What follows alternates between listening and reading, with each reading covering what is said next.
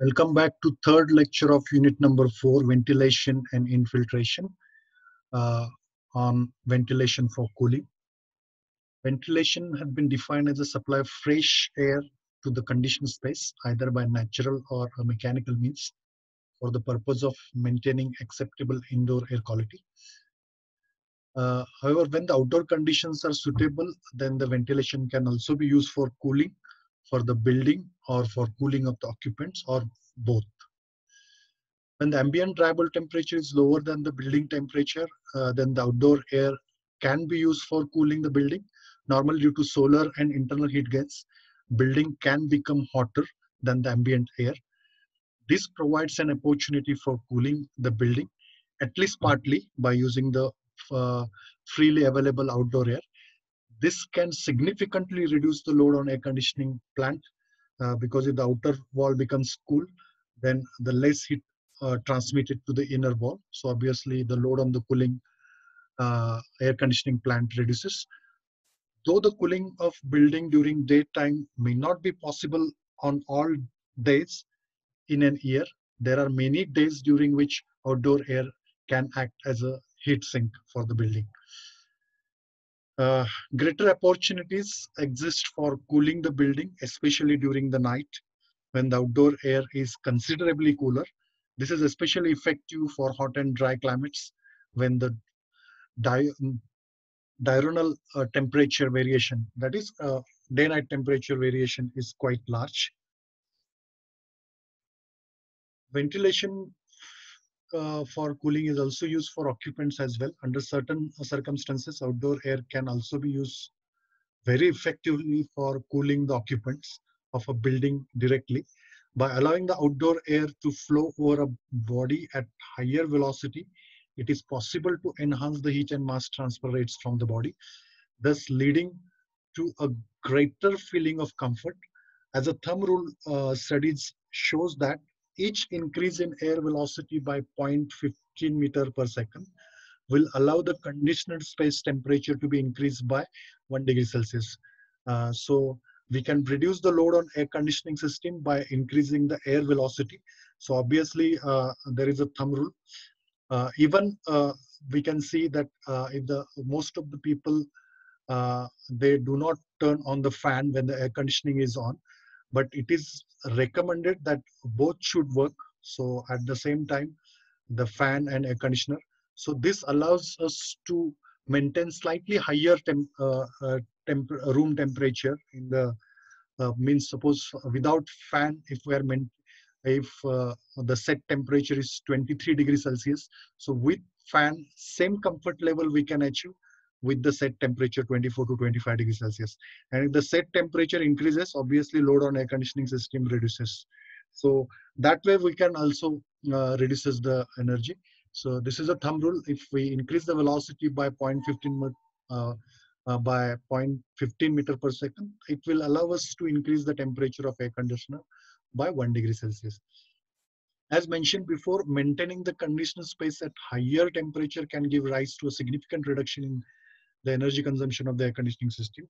However, in greater the air velocity, if it exceeds above one meter per second, may give rise to a feeling of draft or irritation to the occupant. So generally that uh, it is recommended to have 0.36 to 0.5 meter per second uh, velocity in the room. Uh, if it exceeds one meter per second, then uh, there is a possibility of feeling of draft or irritation to the occupant. So there is a limit on air, air velocity as well. The cooling effect provided by ventilated outdoor air is mainly a sensible in nature. Uh, even though uh, it may also extract latent heat from the occupants if it is cool and dry. The sensible cooling rate provided by outdoor air is given by this formula that is uh, Q that is equal to mCp delta T. Delta T is exhaust temperature minus outdoor temperature. So mainly it absorbs the sensible heat, even though there is a fraction sensible latent heat it carries, but it is negligible.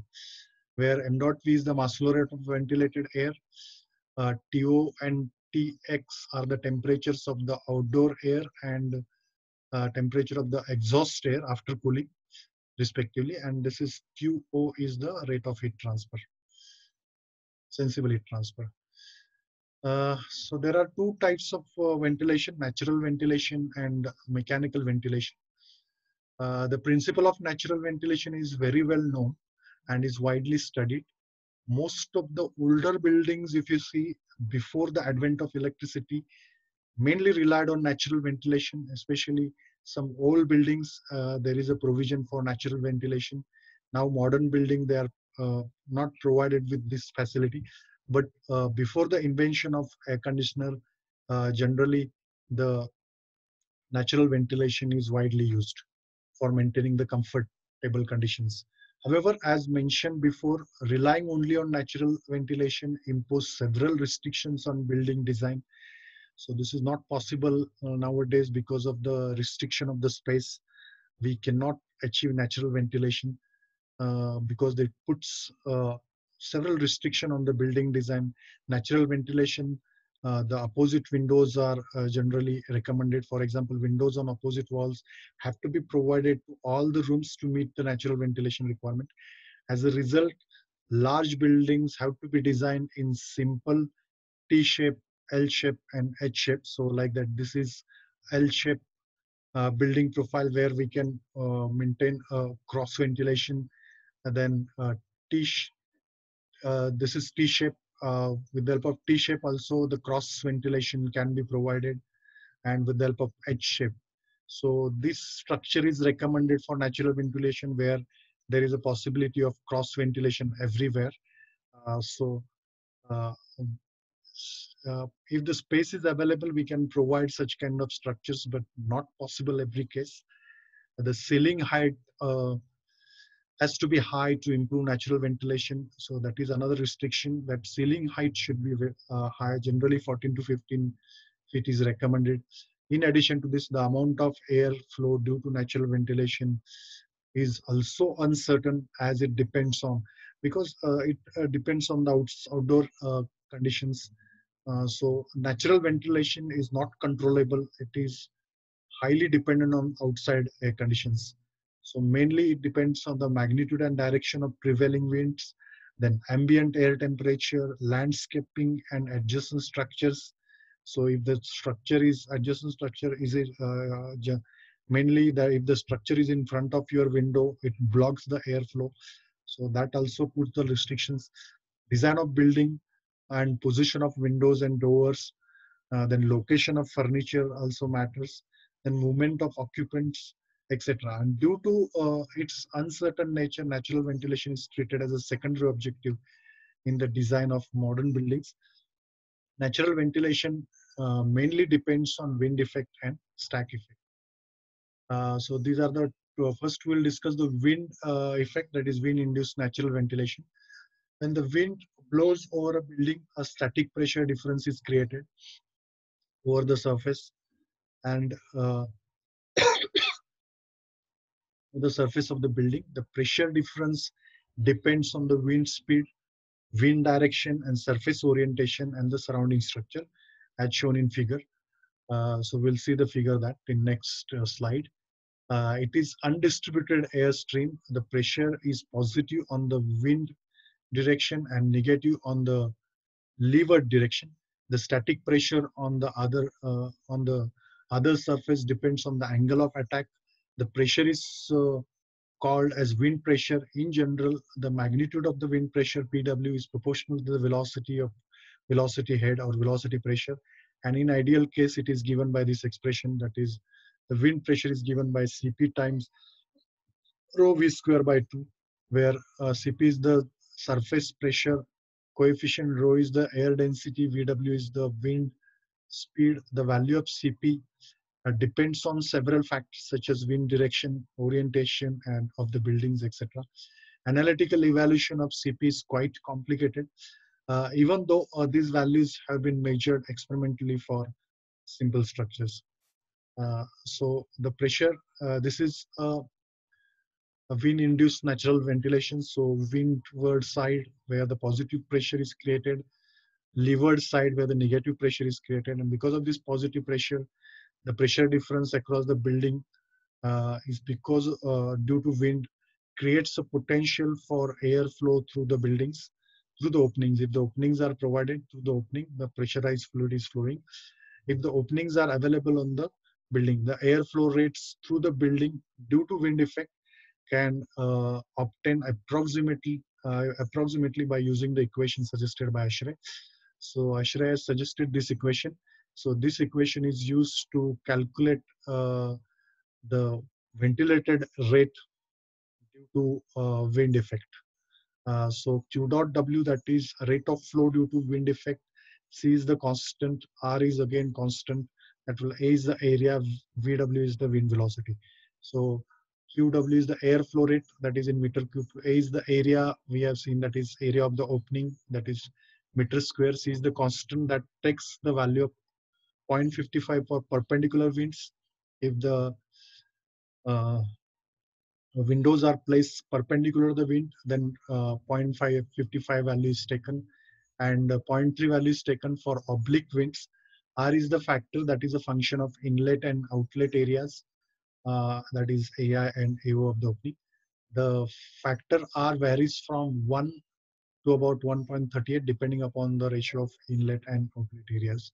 So mostly these values are uh, given in the tables uh, and depending upon the area, if the area uh, estimation of wind speed is difficult, uh, however, data provided by the meteorological departments can be used for calculation purposes.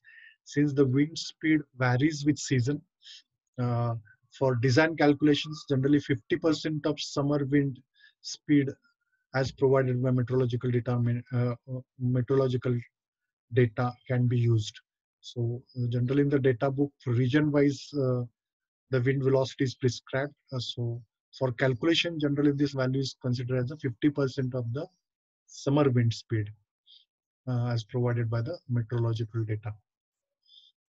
Since the air flow rate due to wind effect is a strong function of opening or window area, suitable values should be used for design calculations.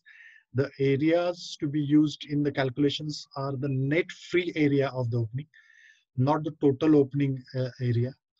Uh, the distribution of opening areas between inlet and outlet is also important.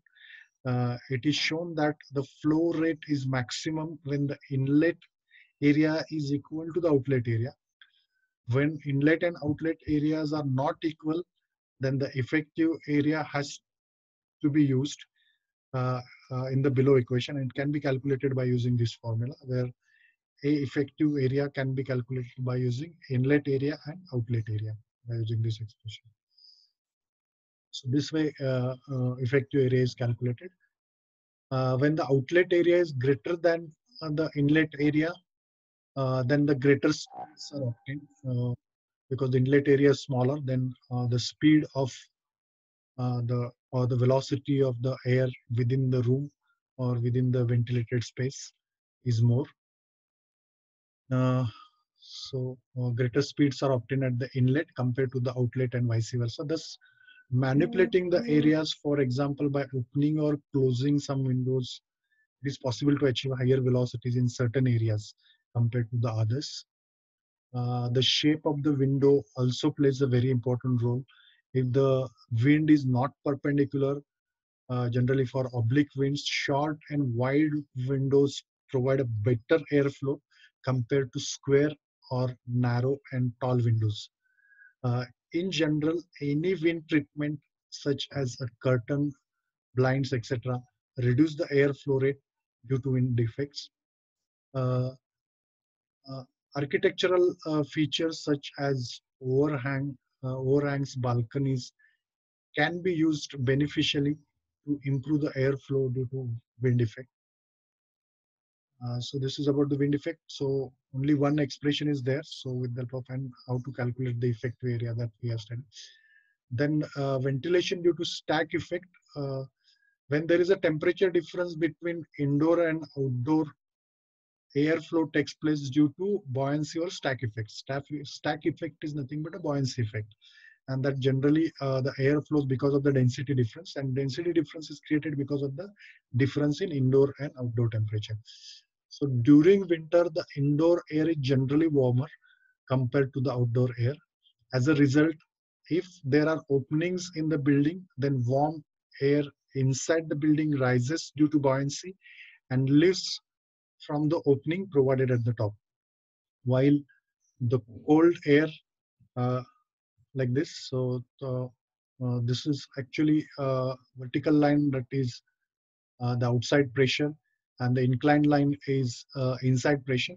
So generally, uh, if the inside air, this is in winter condition, if the inside temperature is 20 degrees Celsius, outside temperature is minus 10 degrees Celsius.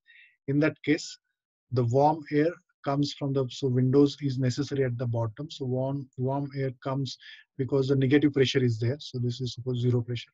So pressure is less than zero means the negative pressure is in the room, at, especially at the bottom because warm air goes up so the cold air comes from the bottom, which is uh, bottom uh, side windows, uh, and it flows up and from the upside windows it goes up. So this is happen generally in winter. Uh, so the windows are provided at the top and bottom. So during winter season, uh, when the atmospheric pressure temperature is less than the required room temperature, or indoor temperature. In that case, the airflow takes place from bottom to top. So the air and cold air enters into the room from the windows provided at the bottom and uh, warm air goes out of the room from the windows provided at the top. Uh, while cold outdoor air enters into the building through the opening near the base of the building. The reverse happen during the summer case. So this is reverse happening when inside is cooler compared to the outside. So now inside temperature is still 20 degrees Celsius, outside temperature is 30 degrees Celsius. So it is cooler compared to outside. The warm outside air enters the building from the top opening. In that case, uh, the air enters from the top because at the top level the air is comparatively cold so the pressure is less on the top opening and cold indoor air lifts the building from the bottom openings so bottom opening is there so this way the airflow takes place during summer season so the same windows are there but exactly the reverse flow happens in summer because outside temperature is greater than inside temperature so generally due to stack effect in a building at a particular height the internal and external pressures are equal. So at this particular pressure, uh, mm-hmm. that this particular point, uh, the that is called as a neutral pressure level. So at this height, uh, inlet and outlet pressure remains constant, and uh, there is no flow takes place stop opening. So generally, the internal external uh, this height is known as a neutral pressure level. So the height from the ground level, that is called the neutral pressure level. Obviously, if openings are provided at NPL, uh, that is neutral pressure level, then no flow, uh, no airflow takes So care should be taken. Uh, if we have to utilize the stack effect, then opening should not be provided at the neutral pressure level state or at the height where the neutral pressure exists. Uh, so knowledge of uh, neutral pressure level thus is useful in enhancing the airflow. So generally greater the height uh, from the neutral pressure level, greater is the stack effect that is uh, there. So however, estimation of uh, neutral pressure level is extremely difficult as it depends on several factors such as distribution of the openings, the resistance of the opening to airflow, the resistance to vertical airflow within the building, etc. In an ideal case, when openings are uniformly distributed and there is no internal resistance uh, to vertical airflow, uh, the NPL is at the mid height of the building. So whatever the NPL it is shown, so the, it is shown at the mid. So in this case, we have this is in ideal case it happens because it doesn't consider the resistance at the openings, that is bottom opening and lower opening, resistance to the flow when the uh, when uh, air flows in vertical direction, vertical up or vertical down directions. So these uh, factors are neglected here. Uh, and the distribution of the air. So uh, large number of theoretical and experimental studies have been carried out uh, uh, to estimate NPL for a wide variety of buildings. And in general, these studies show that for tall buildings, uh, the NPL lies between 0.3 to 0.7 times the total building height. So generally in between, uh, so just below the center level or just above the center level, it should lie. ASHRAE suggests the following equation for estimating air flow rate due to stack effect. Uh, so due to stack effect, we can calculate uh, the flow rate by using this expression, where in the above expression, h is uh, the height difference between inlet and uh, exit. So higher the height, higher is the flow rate due to stack effect. Then delta T is the temperature difference between inside and outside. TW is the warmer air temperature in Kelvin. So in summer, it is taken as outside temperature. In winter, this is take, TW is taken as a inside temperature. Delta T is the temperature difference between warm and cold air.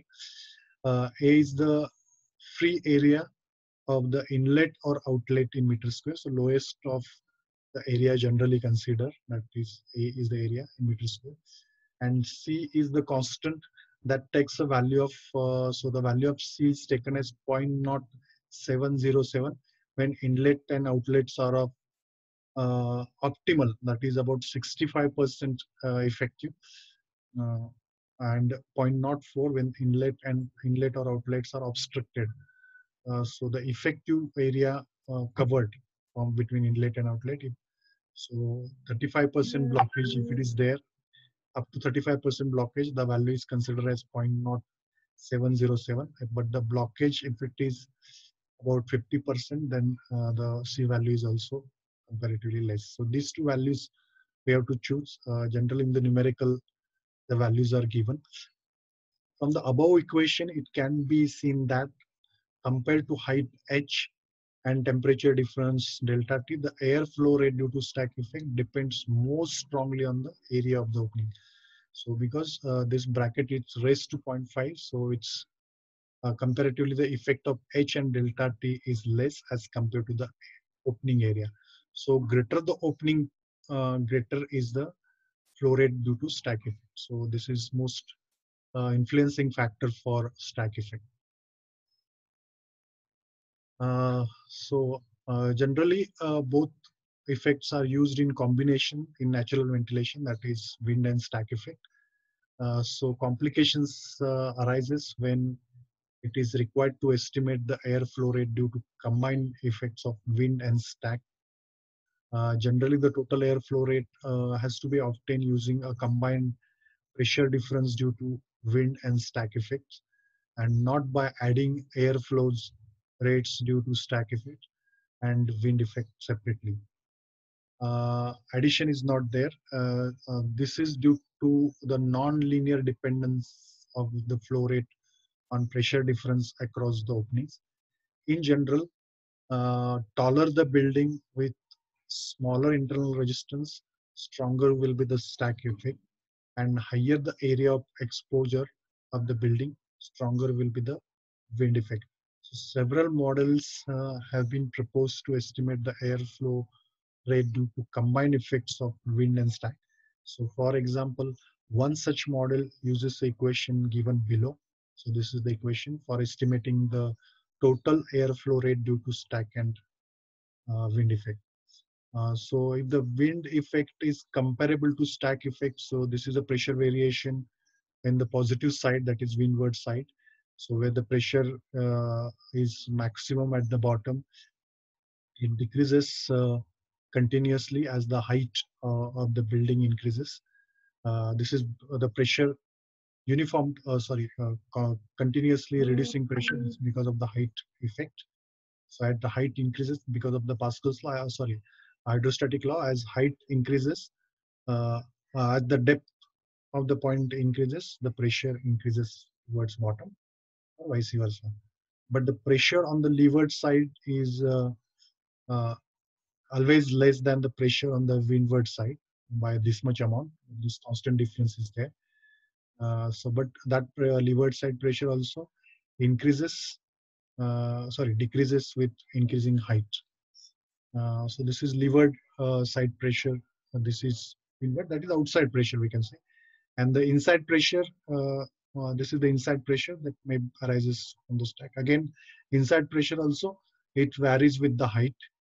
Uh, so as the height increases, this pressure uh, decreases because on x-axis there is a pressure. So there is a decreasing value of pressure, but not considerable.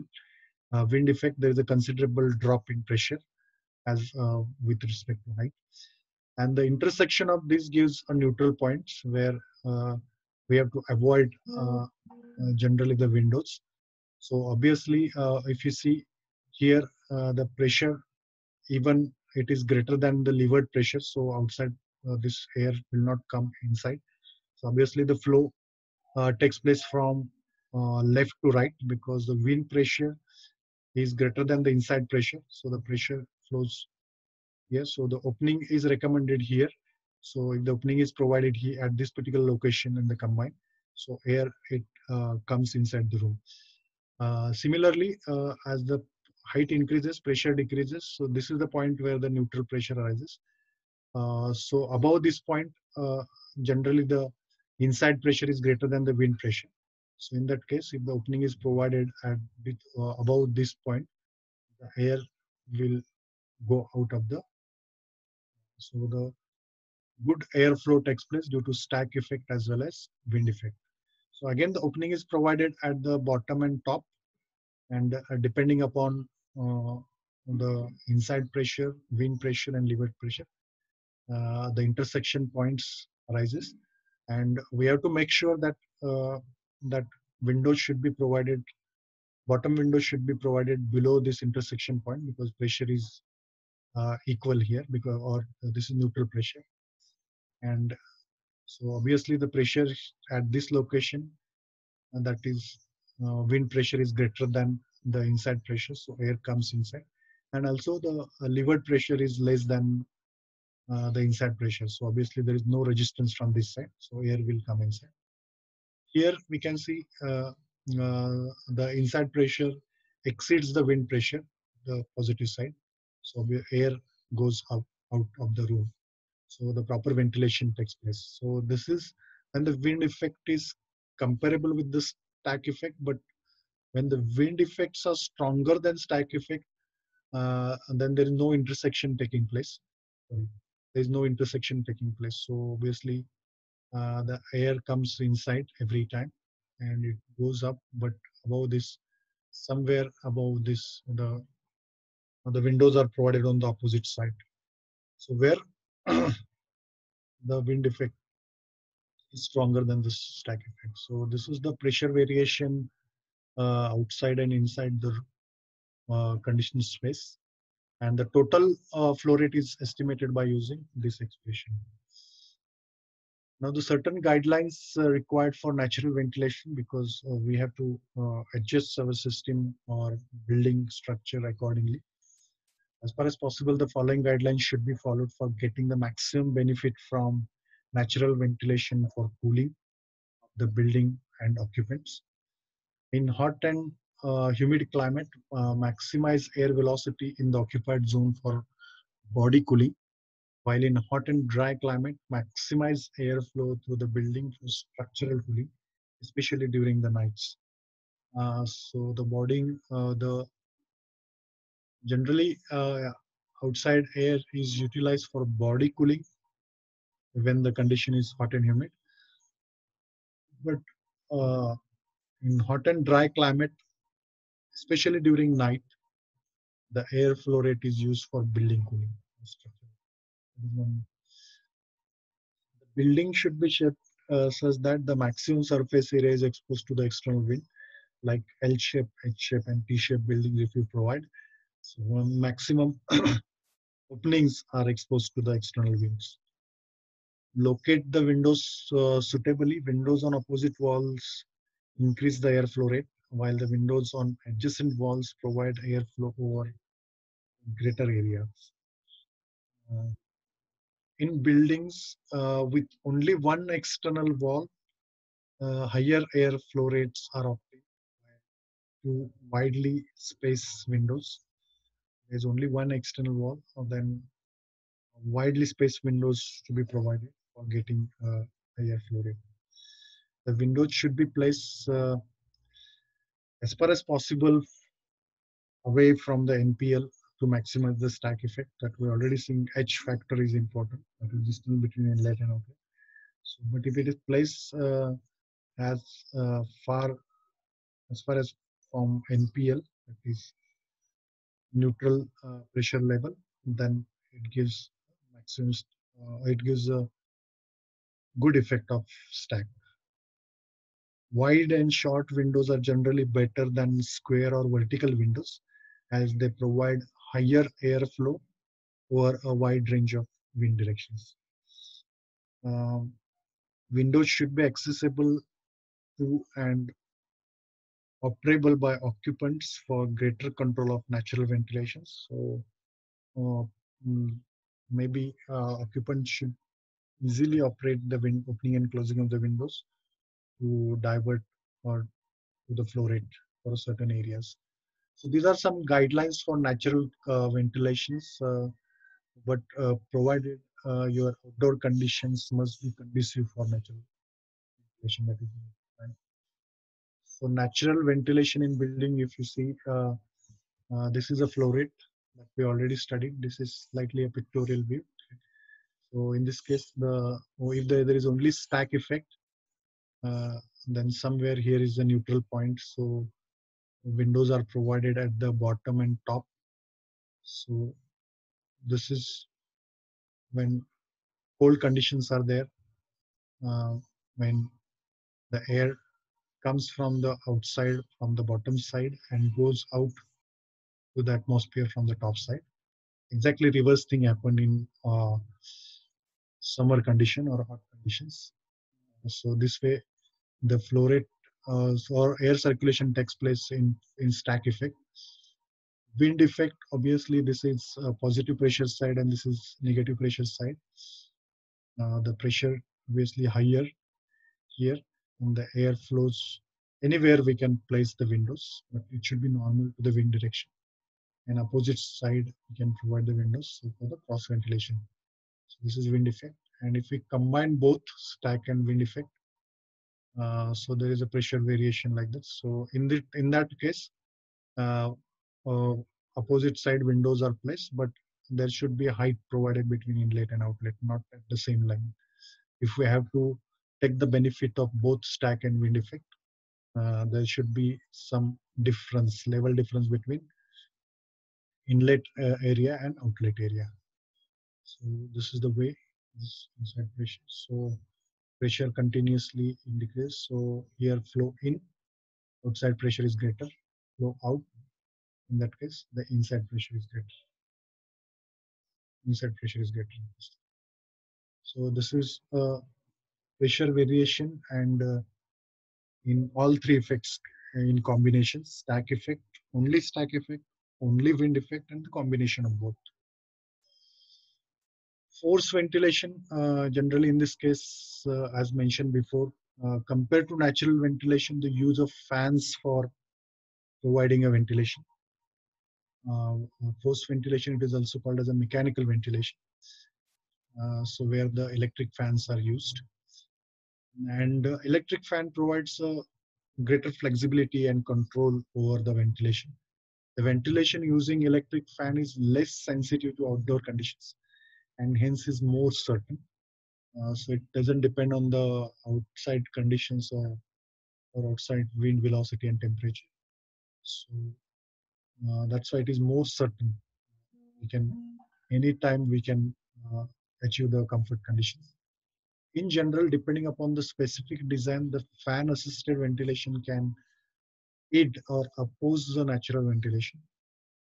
Obviously, uh, uh, if the aim is to use outdoor air for cooling, then the design should be such that the mechanical and natural ventilations complement each other rather than oppose each other. Suppose if we're using fan and natural ventilation uh, without understanding the flow behavior, it may oppose, uh, so mechanical ventilation may oppose the natural ventilation uh, because uh, mechanical ventilation uh, due to uh, it doesn't allow outside air to come inside because of the fan velocity. Uh, but if uh, uh, the aim is to use both outdoor air as well as indoor air during the design, uh, then uh, we can design in such a way that mechanical and natural ventilation complement each other other than others. In general, fan power consumption is quite small and can be estimated by using this formula where uh, W is the power input consumption of the fan. So Q fan is the airflow provided by the fan in meter cube per second. Delta P is the pressure rise due to fan in pascals and the efficiency of the fan. The efficiency of the fan may vary from 0.35 for small shaded pole single phase motor, uh, generally 16 HP, to about 0.85 for large three phase motors, 5 HP capacity. Uh, generally questions can, in summary, we will uh, compare natural and uh, mechanical ventilation. Uh, natural ventilation means if the ventilation is provided by natural means such as wind or stack effect, uh, that is due to wind effect is due to stack effect is mainly due to the temperature gradient or density gradient, then it is called as natural ventilations. Means if ventilation is provided by natural means, then it is called as natural ventilation. If the ventilation is provided using mechanical means such as fans or blower, then it is called as a mechanical ventilation. Uh, natural ventilation it is uh, generally dependent on outdoor conditions, hence not controllable. But uh, mechanical ventilation it is highly controllable and is available as and when required. So it doesn't depend on the outside conditions. In case of natural ventilation uh, it may impose several restrictions on building. So we have seen that uh, generally only uh, these three shapes buildings l-shaped building t t-shaped building and h-shaped building only these kind of shape buildings provide uh, cross ventilation or the better utilization of natural ventilation happens. Uh, but that's why uh, it uh, imposes several restrictions. If if we use some other modern design techniques, so sometimes natural ventilation is not possible. But for mechanical ventilation, it gives a flexibility for building design. So any kind of aesthetic we can design uh, if we have to go for mechanical ventilation. Uh, generally, uh, natural ventilation is not suitable when comfort conditions are stringent. Uh, so if we have to uh, maintain uh, some comfort conditions continuously for 24 by 7 of all the 12 months, then in that circumstances, only relying on natural ventilation is not possible. So, it is not recommended to go for natural ventilation if you have to provide a stringent uh, comfort conditions. Uh, extensively used for applications where the conditions are stringent. So option for that is the mechanical ventilation. So with the mechanical ventilations, uh, 24 by 7 and all the 12 months we can achieve the comfort conditions, required conditions. Natural ventilation offers less flexibility and control on ventilation. Obviously, it depends on outdoor temperature and velocity. So uh, offers less flexibility uh, and control on ventilations. Only geometric point of view, we can provide a large windows and cross ventilation, but at the same time, the atmospheric condition should uh, should be conducive for that. But uh, in mechanical ventilation, it offers a greater flexibility and control on ventilations. In mechanical ventilation, there is a possibility of we can easily control uh, the ventilation rate as well. So these are some points which differentiate natural ventilation from mechanical ventilation. Now we'll uh, take one numerical. Uh, generally, this numerical is asked for four to six mark. Uh, so in this numerical, a building which consists of a window or window size is given. So 1.5 meter to 1.5 meter, that is square windows on the wall facing the wing.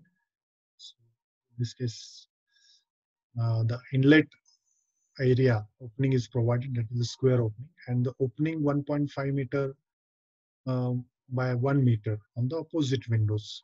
So that is outlet exit window.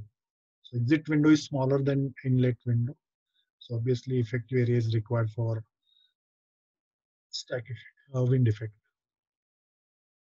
Center to center distance between windows in vertical direction is 2.5 meter. So H value is given, distance between, so both are not at the same height. Uh, they are, the difference between two cent, uh, windows is around 2.5 meter. The outdoor temperature is 313 Kelvin, while the indoor temperature is uh, 303 K. So obviously TW value is a warmer temperature we have to take. So that is 31 K. So this is summer air conditioning where the outdoor temperature is greater than indoor temperatures. So in that case, the flow takes place from top to bottom during stack effect. Calculate the air flow rate due to combined effect of wind and stack effects. If wind blows at a speed of 25 meter per uh, sorry 25 kilometer per hour so what should be the flow rate due to stack effect and so first of all we'll calculate the air flow rate due to wind effect so this is the expression suggested by ASHRAE where the air flow rate is given by C R A and VW there are four variables. Out of that, C and R are constants. So the value of C is taken as 0.55 uh, uh, for perpendicular winds because winds are perpendicular. That's why 0.55. If not perpendicular, slight lesser value is taken. R value is given that is 1.18 based on the area ratio openings. So from the table, uh, these values are given. So C and R values are generally given in the numerical statement a value uh, we can consider uh, the same if the we are, uh, the uh, inlet opening and outlet openings are same but here they are different. So effective area needs to be calculated. So the effective area is given by this formula and it is estimated as 0.2465 wind velocity is given but that is given in kilometer per hour. So calculate in meter per second. So all the values uh, known to us, we can calculate the, by substituting these values here, we can calculate the flow rate due to wind effect. So it comes around 1.11 meter cube per second. So similarly, we calculate the airflow due to stack effect. So the formula of stack effect is this CAH delta T by TW. So already C value, assuming optimal distribution, so 65% blockage considering we uh, take the value of C that is 0.0707. The blockage is 50% around, then the value is reduced. And the area of smaller opening for calculation of air. So the lowest possible area we consider. Generally, it is considered for the worst design. So the lowest area is considered. And substituting these values, H is given 2.4. Uh, delta T is 10 degrees Celsius because it is the difference between outdoor and TW is the warmer temperature is warm temperature is outside temperature. So putting all these values, 1.5 is the lowest low, lower area and 2.5 is height, 10 degrees Celsius delta T, 313. Uh, make sure that delta TW should be uh, placed in Kelvin rather than because our SI unit of temperature is Kelvin, not degree Celsius. So wherever the temperature is only temperature value we have to substitute it should be in Kelvin. So here 313 Kelvin. So it comes around 0.03 meter cube per second. So very small as compared to wind effect. Stack effect is because the temperature difference is not that much large. Also the area opening is also not. Hence the total air flow rate due to combined uh, effect is calculated. So it is close to the wind effect. So a negligible stack if, uh, effect is there. So only the contribution of 0.03 meter cube per second. So this is the total flow rate. So we can make sure whether this uh, flow rate is sufficient to maintain the delta T between inside and outside. Uh, depending upon that, uh, it can be decided that whether to go for uh, additional ventilation or mechanical ventilation or not. But uh, it can be seen that compared to wind effect, air flow due to stack effect is negligible. So this way the problem uh, can be asked and from this also we can uh, calculate the mass flow density if you multiply this by density we get the mass flow rate and uh, that T knows first so what what what is the amount of heat transfer also we can calculate by using mass flow rate so that way also we can the heat source is present there. Then whether this particular airflow is sufficient for maintaining the comfort condition or not. That also we can later on determine. So this is the problem where we can calculate the flow rate due to stack effect as well as uh, wind effect. That's it for this uh, topic, ventilation, uh, ventilation for cooling. So uh, ventilation for cooling uh, is especially used if the outdoor temperature is uh, less than the comfort temperature, then the outside air can be used for cooling as well. The ventilation is required for uh, maintaining adequate comfort conditions, acceptable indoor air quality. Mm, you should be able to describe how the ventilation is can be used for the cooling You should be able to differentiate between natural and mechanical ventilation. Especially in natu natural ventilation uh, is mainly because of wind effect and stack effect uh, that you should be able to describe. What are the expressions used for calculating wind effect and stack effect? At the same time, the difference that table we have discussed, uh, that five points we have discussed, which uh, differentiate natural ventilation from mechanical ventilation. So you should be able to differentiate natural and mechanical ventilation. You should be able to explain and determine uh, ventilation flow rate due to wind and stack effect. So um, on the given information also, so even uh, for any house, if the ventilation is provided, uh, whether in the extreme case, you, you, should be able to determine in, in your house also so whether the ventilation air, so you can measure the uh, wind velocity with the help of uh, anemometer. You can measure the size of the windows, opposed windows. You can measure the vertical distance. So both uh, flow rate due to stack effect and wind effect you can calculate.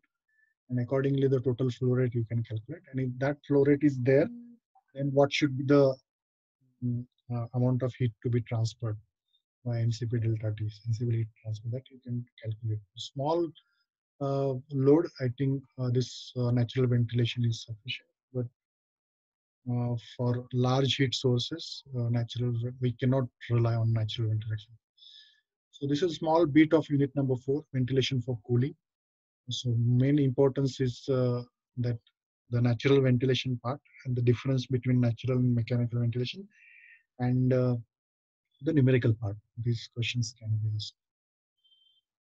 So with this, we have completed uh, the third lecture. So next lecture, uh, we will discuss uh, the last part that is uh, space air distribution. Thank you very much.